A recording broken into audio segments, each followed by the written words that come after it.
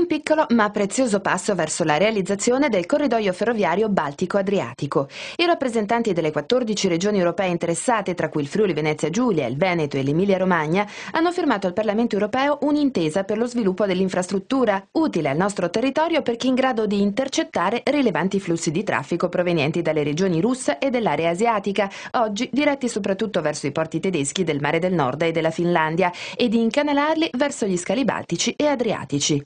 Il corridoio, ha detto il vicepresidente della Commissione con delega ai trasporti Antonio Tajani, sarà valutato con attenzione dall'Unione Europea per rafforzare i collegamenti. Il progetto infatti non è inserito tra le priorità, ma questa intesa segna un primo importante step per poter mettere in moto il meccanismo dei finanziamenti. Ne è convinto il presidente della regione Friuli Venezia Giulia, Renzo Tondo, consapevole comunque che il processo non sarà breve. Sulla stessa lunghezza d'onda anche gli assessori all'Emilia Romagna, Alfredo Peri e del Veneto, Isi Coppola, che con Tondo hanno certificato l'intesa con la firma per le rispettive regioni. Ci auguriamo ora, auspicato Isi Coppola, che le risorse per la realizzazione dell'infrastruttura siano messe in campo, mentre Tondo ha evidenziato i miglioramenti che il corridoio sarebbe destinato a portare alla popolazione anche dal punto di vista della qualità ambientale.